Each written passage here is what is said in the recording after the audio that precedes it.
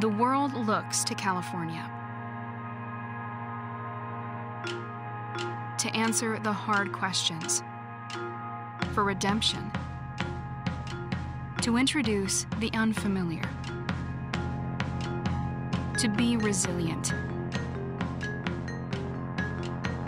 Because California bounces back, holds us accountable, values who we are, remains vigilant, defies those in our way,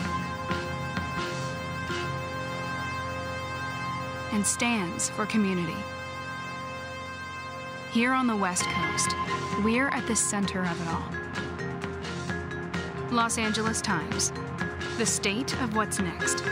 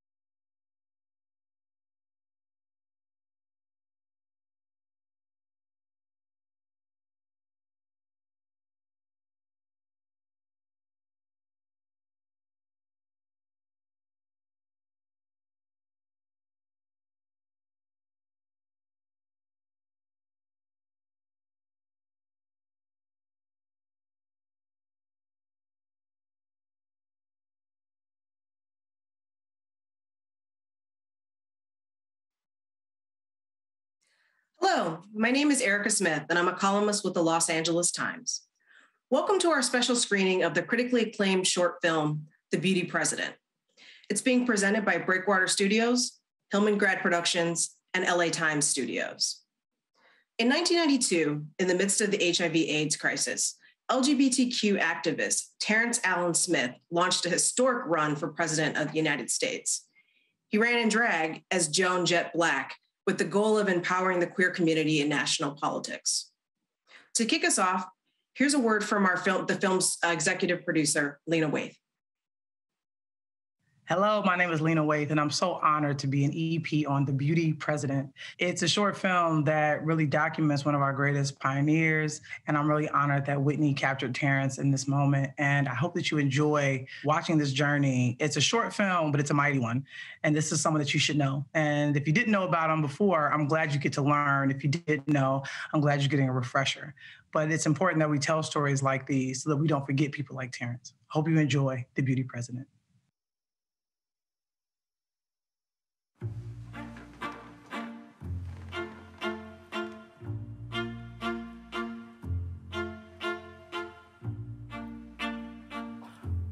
Because I've always loved politics, I got I saw an opportunity to be a politician, you know. And who am I? Well, I'm Joan Jett Blakk, Queer Nation's candidate for president in 1992. That's right, we're gonna put a drag queen in the White House. At some point, I realized that I actually made a little dent in history.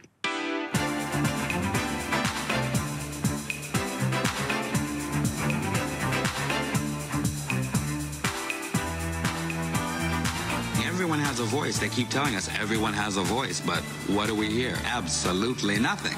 That is not a voice. Everyone has a voice when I get elected.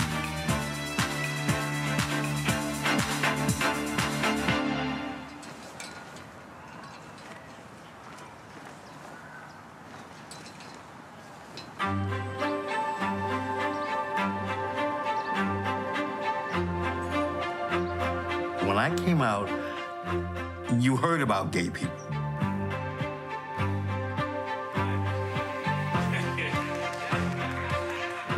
This whole broad community, you felt like you were a part of.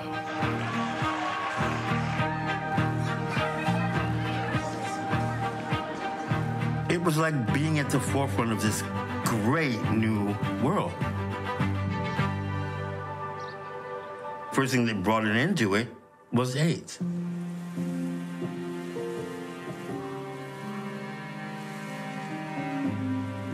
Many groups of people have had to deal with your friends dying in an early age like we did.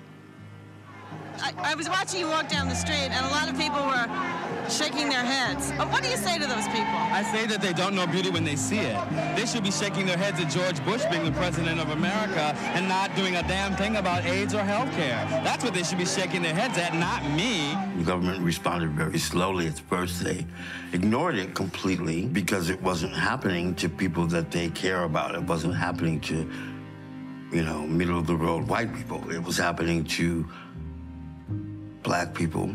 It was happening to drug addicts, and it was happening to gay people. Doctors didn't want to touch you. You know, we all lived in, okay, what do I do if I get it? You know, who's going to take care of me? What's, what's going to happen?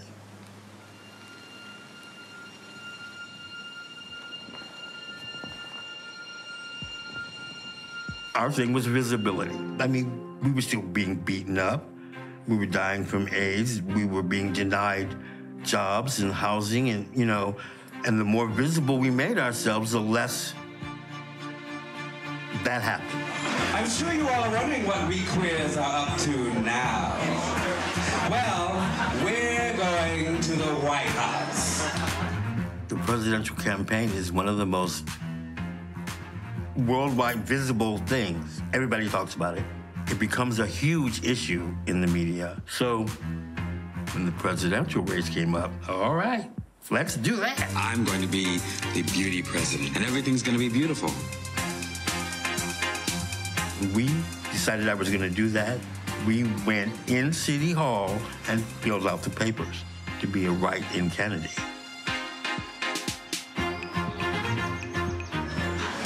Ronald Reagan was elected president. Now, if a bad actor can be elected president, why not a good drag queen?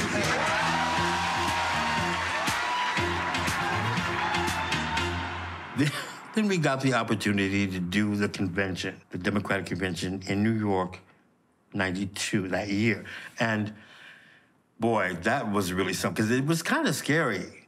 We were going to be gay press. We had press passes. Well, that day, we figured it out that they were not going to let me in, walk in the convention in full drag. You know, it's obvious that they don't want us to get anywhere near this convention. This convention, this whole situation is not for everybody.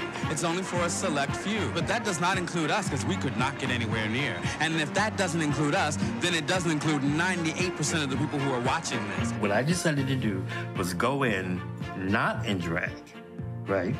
I had to go into the men's bathroom in the stall and did it in there. I was almost done. Some guard comes in. Somebody probably told him, there's a woman in there. So he came in, knocked on the door. He said, hey, this is the men's bathroom, right? I said, there's a man in here. but then they came and they handed the pass over the top of the stall.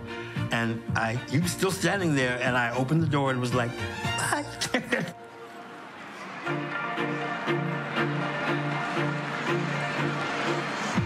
so we get on the floor.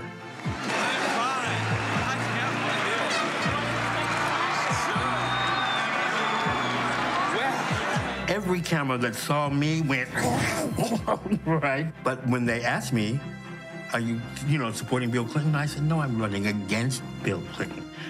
They were like, "What?" Oh my God, Joan Jett Blakk, the only drag queen presidential candidate in the United States. And I'm down here on this floor saying hi to all of America. Why, look, hi, America. oh, God, this is so exciting. Look at all these people. Hi, y'all. So here we are, bringing queer issues to the campaign, right here, right now, in a dress. But I said, I really am running for president. And they were like, well, what would you do if you, you know, I said, well, health care. We should have health care, period. I was going to take the military budget and the education budget and switch them. I was going to fire everyone in Washington and hire my friends just like they did. We were going to do all of that. What are you going to do for the military of the U.S.? Well, I'm going to ban the military, so we won't have to worry about the military banning homosexuals. you see. What would you do about this police state, Joan? What would you do? Well, first of all, I'd fire them all. All of them. I don't think we'll have much crime if people know who's really protecting them, you know what I mean? I tried to make as much sense as I possibly could out of where I was and the voice that I did have. And that's what people heard. A deep and profound change is needed in our attitude toward the world, our life on it, toward each other, and toward our conceptions of what is politics.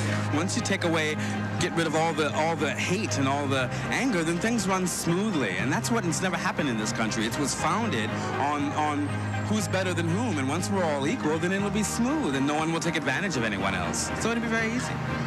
Yay for Joan. Yay, Joan.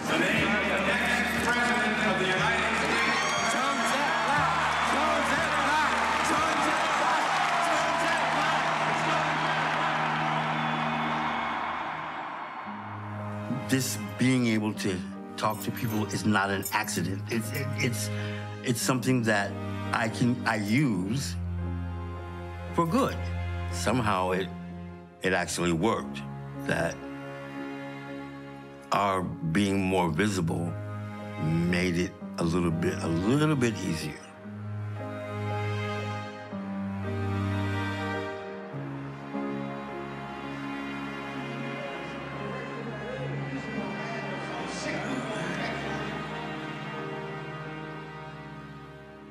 Can't help but think about all of my friends that are long gone, long gone. There isn't a day that goes by that I don't think about some of them, or one of them, or two of them. I have this little thing that I do before I go on stage. Beauty before me, beauty behind me, beauty to the left of me, beauty to the right of me, beauty above me, beauty below me, beauty all around me. And I think of my friends.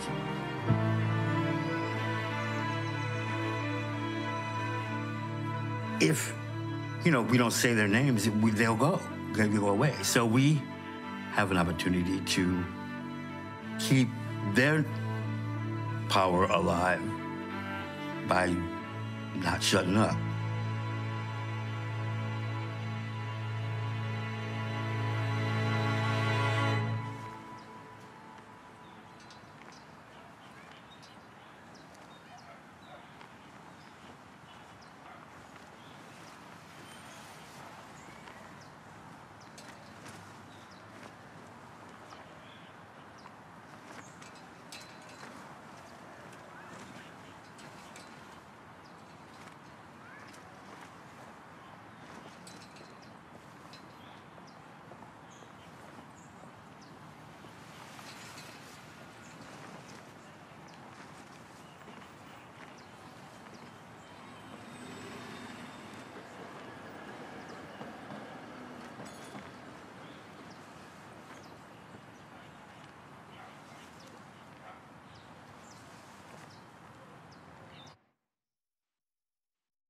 Welcome back, everybody. Hope you enjoyed that and learned a few things. I know I did the first first time I watched it and watched it, I think three or four times now. Um, but I want to introduce our panel, uh, who's going to be here to discuss that. First, we have Terence Alan Smith, who we just saw as Joan Jett Blakk, and we also have Whitney Skauge, who is the director of the film. So I wanted to welcome them both. Thank you both so much for joining us. Thank you very much. Thank you. Thank you. Hi, Thank Whitney. you. Hi, Terence. Terence, I'm actually going to start with you. Um, Okay. You know, yeah, I'm going to start with you. So, you know, you touched on this at the, in the film, particularly at, at the end um, about, you know, what you were experiencing in the 1990s. But I was wondering if you could expound upon that a little bit, particularly for some of the younger folks who might be watching who may have been like two or maybe not alive when when this was happening. Can you talk a little bit about what your life was like and what it was like to be queer back then? Well, it was a little riskier than it is now, although it doesn't. Looking back, it's hard to tell, but you know, um, and at that time, this was 1990.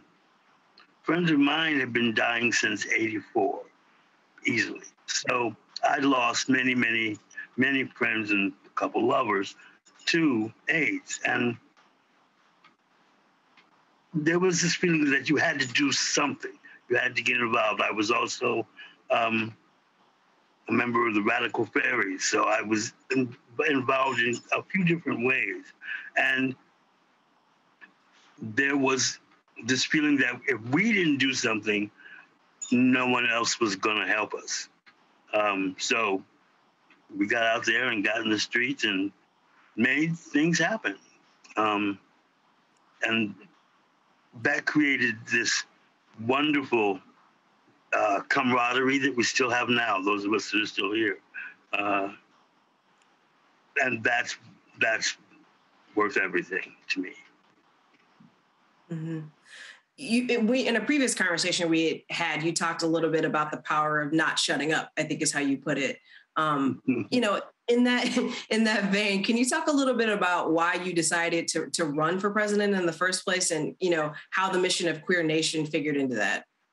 Well, you know, it goes way, way back. My mom always said I was a ham, and that you know I could just get in front of get in front of people and you know perform or something. And um, I had been doing drag off and on since '74, so you know I had this character uh, or a couple of different ones that I could blend together, and I thought, well, you know. Uh, I ran for mayor of Chicago before I ran for president. So I, I was already a seasoned politician. And um, I had a lot of fun doing that. So we just took that and put it in this run for president. I hope I answered that question. I'm not sure if I did. No, it does. Mm-hmm. So you, you ran, I didn't realize you ran for mayor of Chicago too. That's, I love that. Um, yeah, that was. So Whitney, how did you first learn of Terence's story and, and why did you feel compelled to, to make this film? Well, I first found out about Terence from an article that I found online. Uh, I work at Breakwater Studios and I was doing some research for another project. And I came across this article that essentially said 1992 drag queen runs for president. And I read it. And there was a photo of Terence as Joan at the podium. And as a Black person, as a queer person, as a politically minded person, my brain kind of exploded and i couldn't believe that this was something that had happened that i didn't know about um, and ultimately the reason i decided to do this project was in this really intense desire and feeling of responsibility to preserve and celebrate terence's story um, as a queer person and again as a black person there are so few heroes that we get to interact with. And the fact that Terence is still here was felt so important. And as a documentary filmmaker, you just want to capture things so they don't get lost. And that was really the biggest driver for me was that I felt like this was a story that truly deserved everything in the world. And I just wanted to be a part of um, a part of doing something about it. So how did you go about contacting Terence? What was that like? Uh, I think I found an email and then I emailed him um, and we had like one phone call um, and we hit it off right away. And I think within maybe two weeks to a month, I was up in San Francisco filming. Um, so I think uh, Terence and I both would agree that we have kind of this unspoken bonds um, that is kind of cosmic. And it just felt like we landed in each other's laps at the perfect time. Um, we shot this during the pandemic. Um, I mean, we're still in the pandemic, but we shot this in 2020 at the height of things. So it just felt like a lot of synchronicities were coming together. And um, yeah, so meeting Terence the first time, just it was one phone call, and then we we went up and we shot. Mm-hmm. Terence, what did you think of meeting Whitney? I mean, what was that like? I mean, you know, here's somebody who hadn't really heard your story, wanted to know more. Were you kind of, you know, surprised or were you like, oh, that's just one more person that wants to know about me? Well, it wasn't just like it was one more person that wants to know, but I'll tell you, I was very excited. I learned a long time ago to say no to nothing. If somebody asked you to film something, yes, sure, let's go because you never might you might not get asked again. So that's gotten me into some, you know, wonderful places. Absolutely, and uh, like you like what you said, we hit it off like that, which I'm not surprised at. I seem to attract women who are the only black. I, I worked with another filmmaker years ago that was the only black female lesbian from Glasgow you know. So Montana is no. I'm like, yeah, yeah. I'm not surprised. So, um, you know, we all stick together somehow, you know. Yeah. And I felt that right away. It, it, was really interesting in the film, just kind of, you know, going down, seeing the footage, obviously, the archival footage, but also just like hearing you talk about Terence about what it was like on the trail and how people were approaching you, particularly that that scene about how you had to like change in the men's bathroom, which is yeah. yeah, somehow typical. But you know, what was it really like on the trail? I mean, how did people, other than you know the footage we saw, how did voters and and journalists and people kind of, rec, you know, respond to you? Were they taking you seriously? Like, what was the general reaction? I was lucky because the media was, they needed something to you know kind of laugh at, so they had me, and they really nobody. I didn't get treated badly at all. They would ask questions you know, only a couple of shock jocks on the radio were like, "So, George Black, why do you want to, what, what, you know, what the president address?" That kind of thing. But um, once I started talking, they were like, "Wait a minute, this kind of makes a little sense here." And I always said, they told us anybody could be president, so here we are. I'm gonna prove that, you know, maybe somebody like us, more like us, can. Because if you look at them lined up, you go, nope, that nope, no, no, you know. So mm-hmm. I was one that people would go, oh yeah, maybe. you know.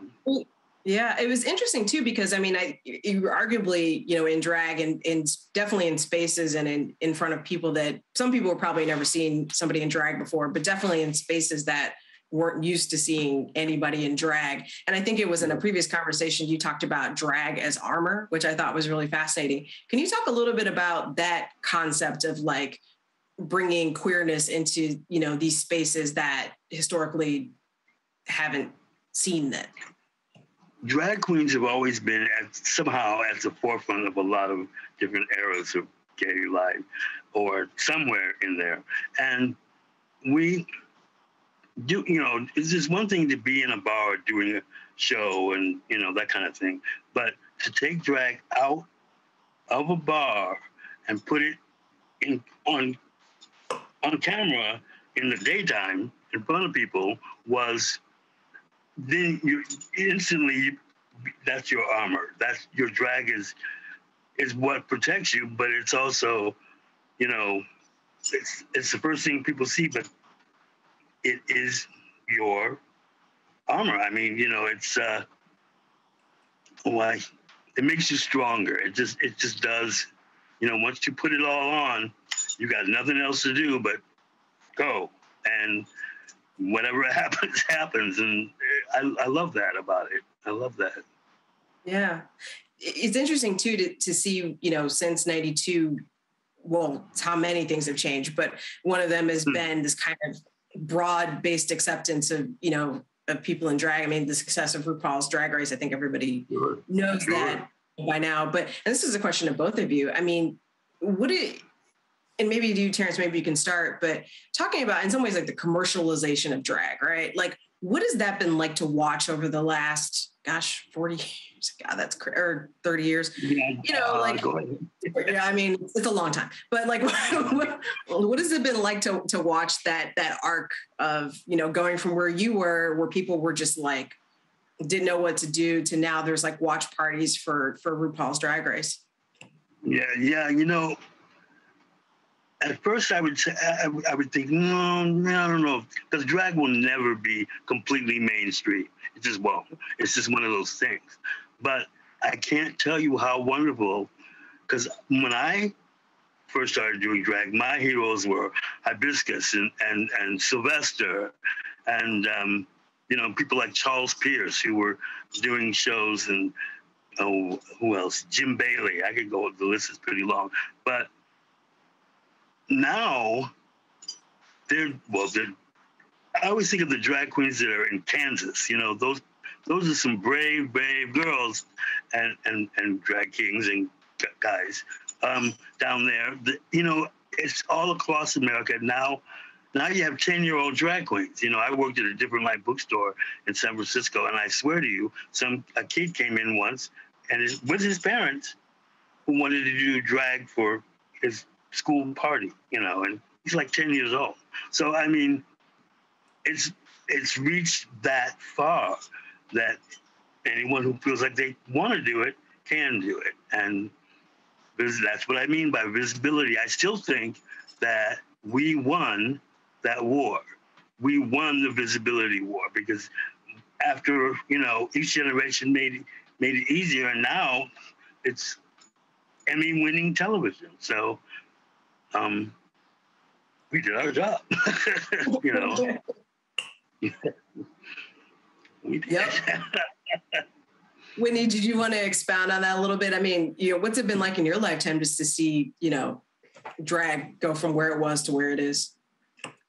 Yeah, I mean, it's interesting. You know, Terence kind of brought up the fact that I'm from Montana, and growing up in Montana during um, the George Bush era, was very interesting because I grew up during the time when people would say, you know, that's so gay as an insult.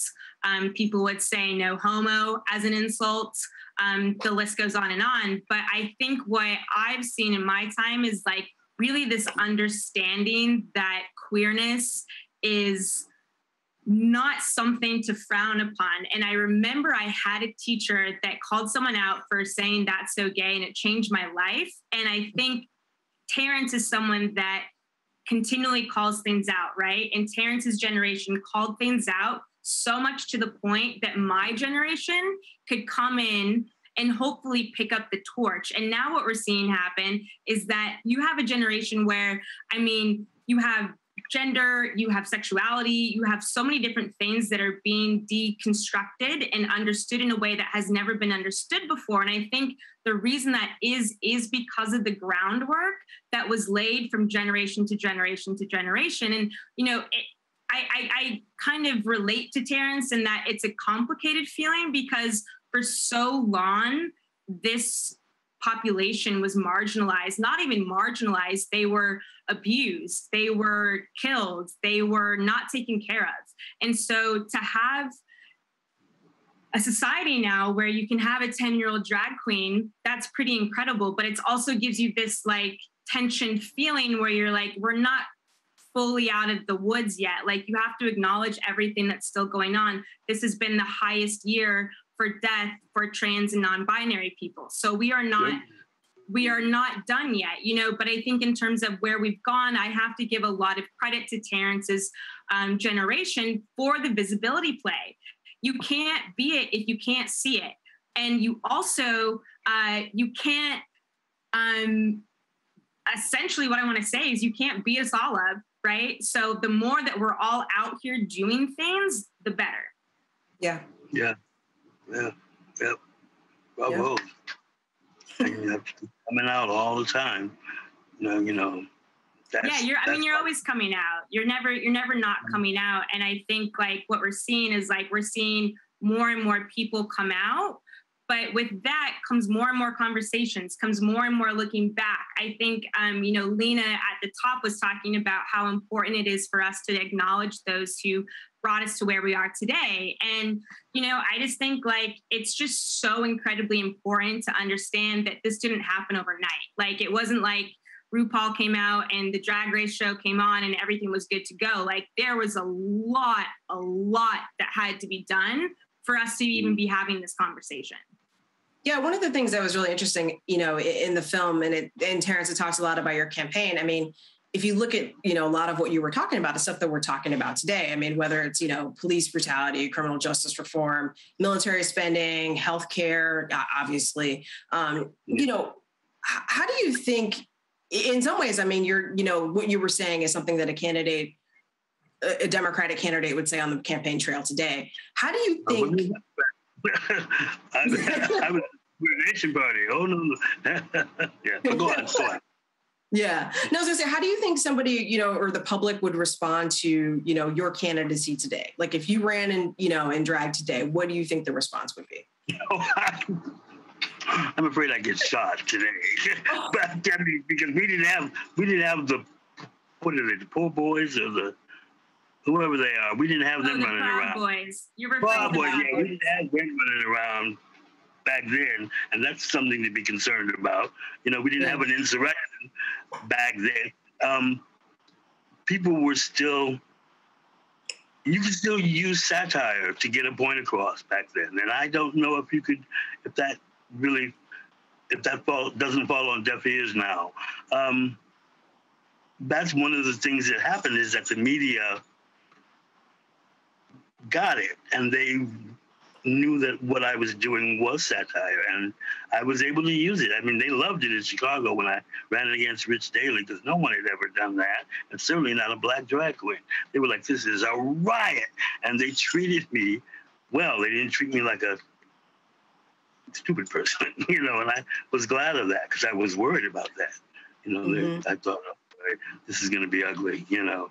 But like I say, once they started asking me questions and I gave them answers, they were like, oh, hmm. I mean, I talked about legalizing weed.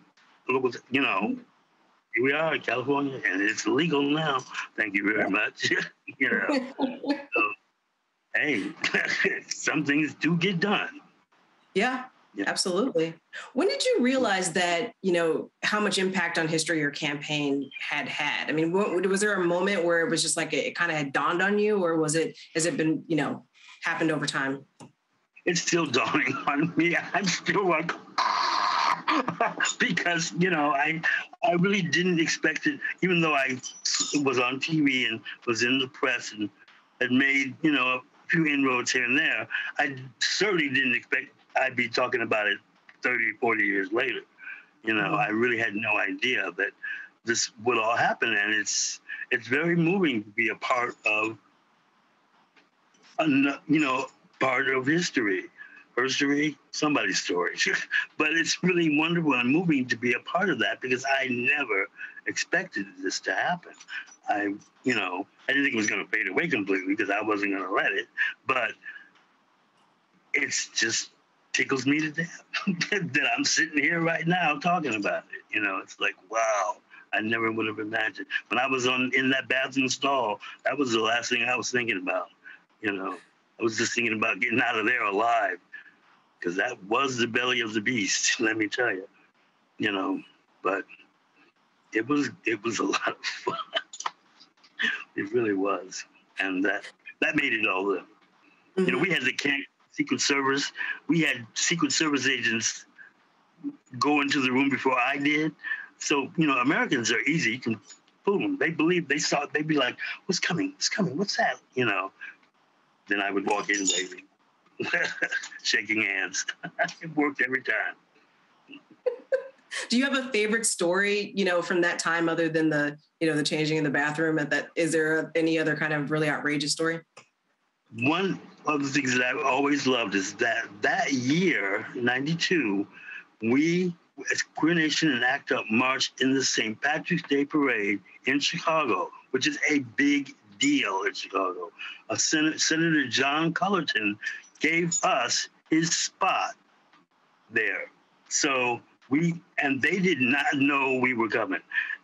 All of a sudden, they look up and you know, here we come with my camp, Joan Jett Blakk presidential camp, and they were like, they turned, they were so shocked. They the judging uh, stand, they turned their back on us, but it was also a little nerve wracking because this was the same year that in Boston they forbade them to march at all.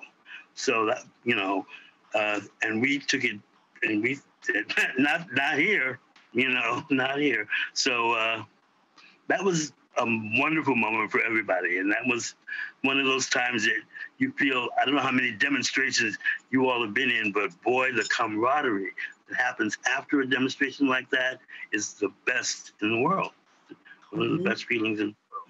And uh, besides, we lived. St. Patrick's Day parade, you know, that's I was as Irish as I could be, but you know,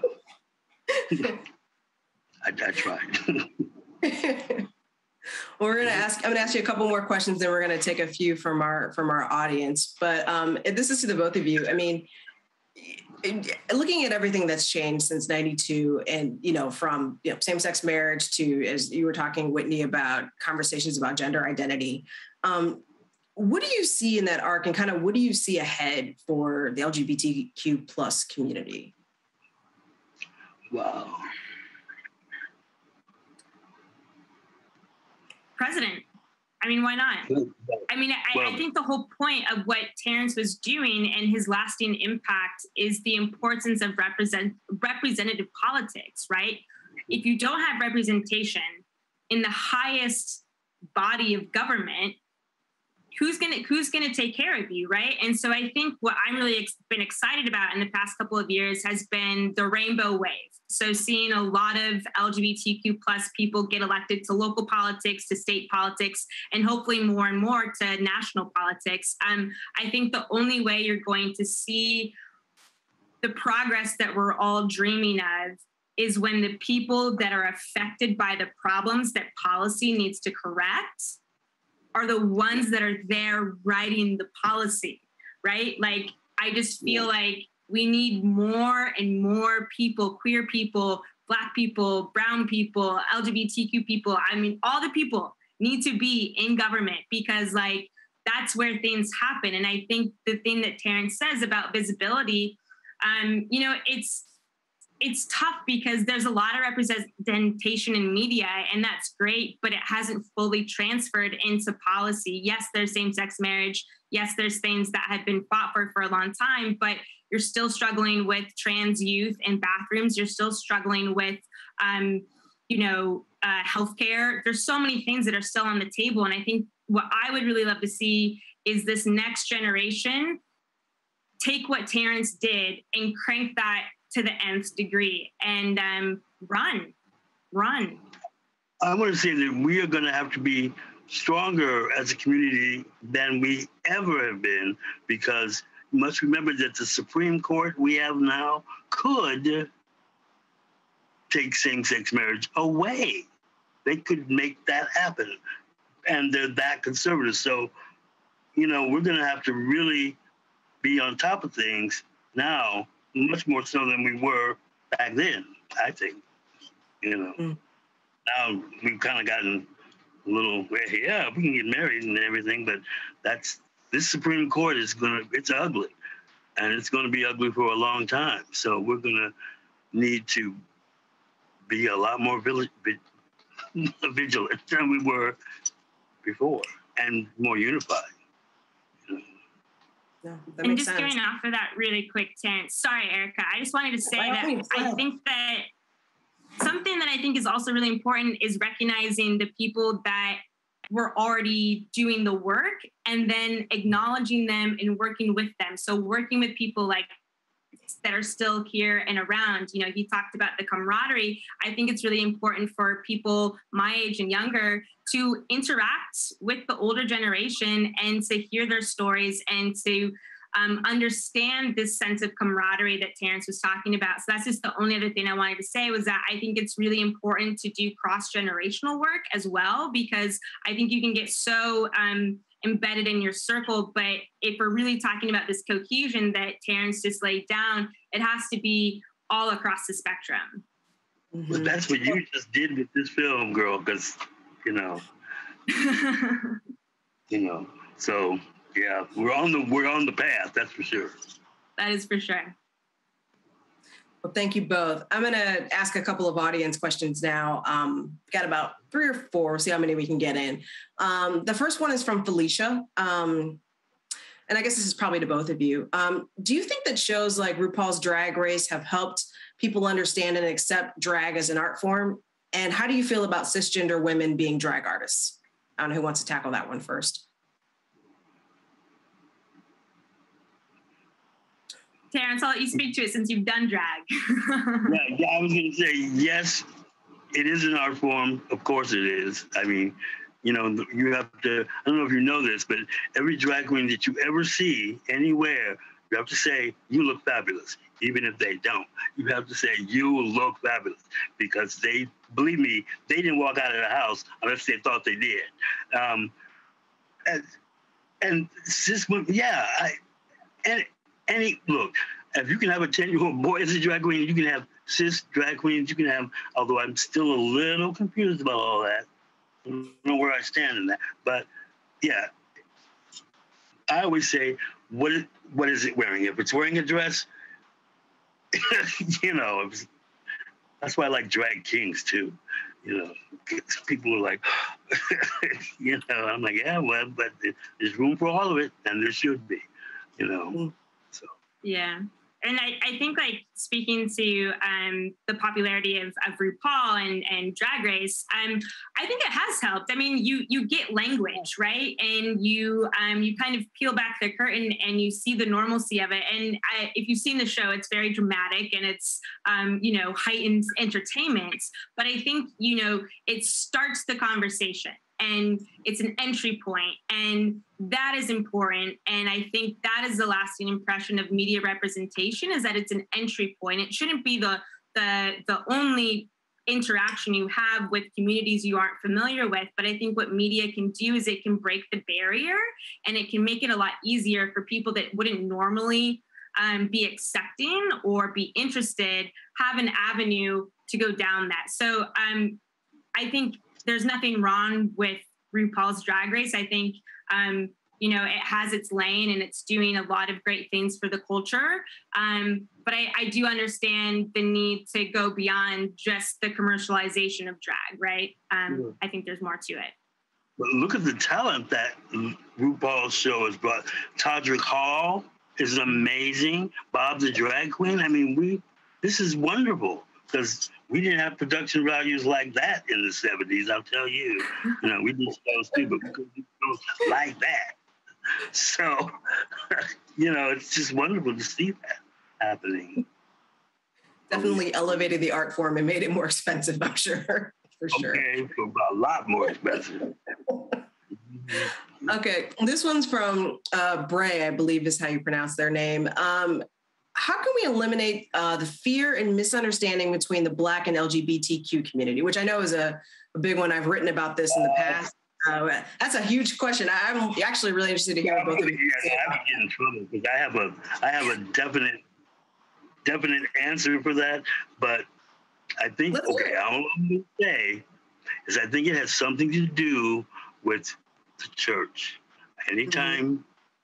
I think something to do with the church. I can't go into it now. The LA Times would be very upset with me if I said what you know, but it in some ways that those Christian beliefs have held people back.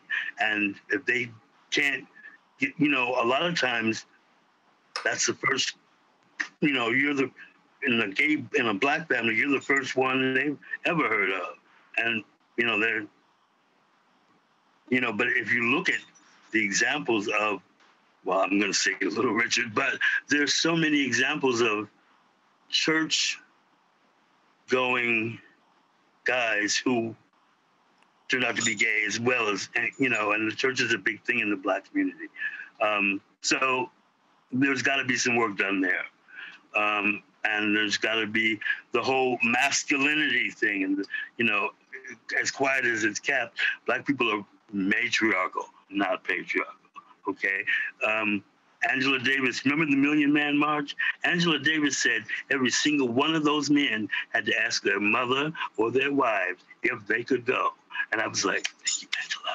You know, so, you know, there's a lot of work to be done there. You know, there is. Yeah. Yeah. Whitney, what do you think? Man, I mean, that's a big question. And I, I always have to preface things that, you know, as a light skinned person, I'm not interacting with the same type of conflicts that someone um, darker skinned might interact with. I, I have a lot of privilege in that way. And so, you know, for me, it's very interesting to think about the intersection of my queerness and my blackness in those two communities. But I think ultimately it's understanding that there is an intersection. And I think what happens when you're talking about disparate marginalized groups, um, there's this kind of um, man, how do I phrase this? There's almost this like oppression scale, right? And it's like, well, I'm more oppressed than you are. And so you need to like understand where I'm at. And it's like, we're all oppressed. We're all under the patriarchy and white supremacy um, and capitalism and all the things that are are not really helping us as a community. And so I think just understanding that our problems are interconnected, our struggles are interconnected, and that we are not that different. Like I think, um, you know, you mentioned Angela Davis, and I'm going to bring up um, Huey P. Newton for a second. I mean, the Rainbow Coalition. That was the that was like mind blowing, right? And I think that's what mm-hmm. we need to be getting towards is like bridging the gap and understanding that our problems together can be solved greater than disparately. You know, and just in a small, small way, in the mid to late 70s, we were doing it on the, I know it's to sound weird, but we were doing it on a dance floor. We were getting everyone together on the dance floor. And there's no, it's no accident that that music talked a lot about unifying people um, because that's what we believed we were doing. And we were. I think that's why they brought it into it because it was getting too good. You know, um, it it become this wonderful, and I mentioned that in the movie. We had become this wonderful, strong community that all of a sudden had to stop, and you know, uh, deal with saving each other's lives more so than you know. So that you know, that took a lot of. Uh, the excitement of being in on a dance floor away. Um, that's, that's kind of coming back at a little bit, but I don't go out anymore. I'm too old. So, but they're they're you know that was really that was something that was real for us back then. Mm-hmm. Back yeah. Well, last question, and this one's from Bianca, but I, I feel like this is probably a question a lot of people have is how can we support you now, Terence? Are you are you planning on another run for president, or we? Uh... no, no, no. No, no, I don't think so. Well, I'm, I'm hoping to do my. I used to have a talk show here. I'm hoping to start doing that again. I've just got a website, so we're gonna, you know, try and do a few things there. But I'd love to do my. I'd love to do that talk show again. That was a. I was like the drag Oprah for a while, and I would love to do that again, but probably on on this medium, Zoom, you know, so I don't have to go anywhere. But uh, something like that, you know, because that was really that was a way to stay up on what was going on in the community. Anything I could do to do that, you know, because uh, I, I'm and I'm working on my book. You know, you can always. Should I say this? Can they donate? I don't know. You know, donate to the Joan Jett Blakk Fund if you want to. Uh, yeah.